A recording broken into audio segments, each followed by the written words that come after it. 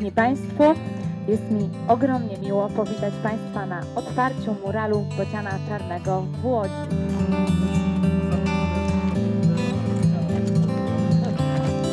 Bocian czarny nie okazał się być tylko czarnym, jednak pokazało się tam masa kolorów, cała paleta barw, także chciałem to pokazać. Mam nadzieję, że mi wyszło.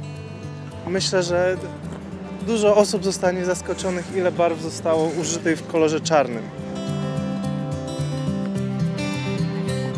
Co najmniej od 6 już lat e, pracujemy, z, że tak powiem, z bocianem czarnym w sensie pokazywania, e, pokazywania jego życia. To jest dosyć skryty gatunek. Montujemy kamery na gniazdach i tak krok za krokiem ten bocian staje się pomału takim symbolem Regionalnej Dyrekcji Lasów Państwowych w Łodzi. E, My jesteśmy mm, Regionalną Dyrekcją Najniższej Lesistości, także nie mamy takich, takich symboli, które się bezpośrednio z Łodzią kojarzą, e, a ten bocian, no, wydaje nam się bocian czarny, świetnie się na taki symbol nadaje e, i, i, i dlatego też e, bardzo staramy się go edukacyjnie e, propagować.